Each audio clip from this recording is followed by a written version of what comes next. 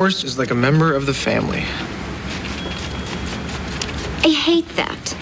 That is not a fortune. you are a strange one, Clark Kent. Am I? Yeah. Well, I think I got you figured out.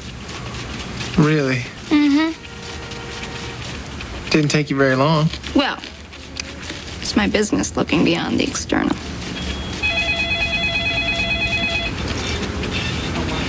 Don't fall for me, farm boy. I don't have time for it. Come on. Let's go find